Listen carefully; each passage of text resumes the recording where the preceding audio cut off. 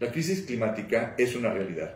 En la Asociación de Bancos de México tenemos la certeza de que es imprescindible lograr una economía y un sistema financiero sostenible. Este mes de junio conmemoramos los 50 años de la Conferencia de Estocolmo y celebramos la creación del Programa de las Naciones Unidas para el Medio Ambiente, el famosísimo PENUMA, que aborda los aspectos ambientales y climáticos como un eje prioritario a nivel internacional.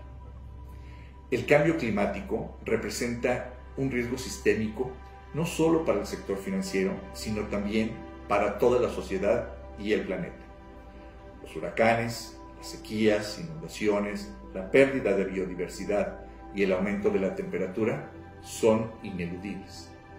La transición ordenada y justa para todas las personas dependerá de cómo actuemos y decidamos de manera coordinada en el presente. Desde hace varios años, la banca en México ha sido proactiva y vocal en la urgencia de la acción contra el cambio climático. Ello con la finalidad de adaptar nuestros trabajos, negocios y operaciones y que a través del crédito formemos un país más resiliente. Es en este sentido que 31 bancos comerciales que representan el 86% de los activos y 7 bancos de desarrollo que representan el 95% de sus activos son firmantes ya del protocolo de sustentabilidad de la ABM.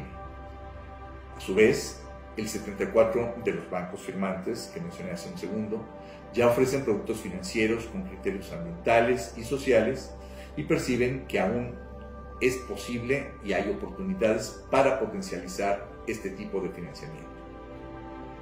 Para lograrlo, tenemos certeza de que una taxonomía nacional sostenible que permita clasificar con criterios científicos lo que es y no es un crédito verde, será un vehículo muy importante para alcanzar los objetivos. Asimismo, la revelación de información sostenible a través de las normas de información financiera que emite la Fundación IFRS dará certeza a inversionistas. El PENUMA de México ha sido un aliado clave en esta agenda Hemos colaborado en temas de energía renovable y ahora en el fortalecimiento de la capacidad de reacción de las mujeres ante el cambio climático. La cooperación internacional, la coordinación público-privada y las decisiones basadas en conocimiento científico son cruciales para una transición a una economía sostenible.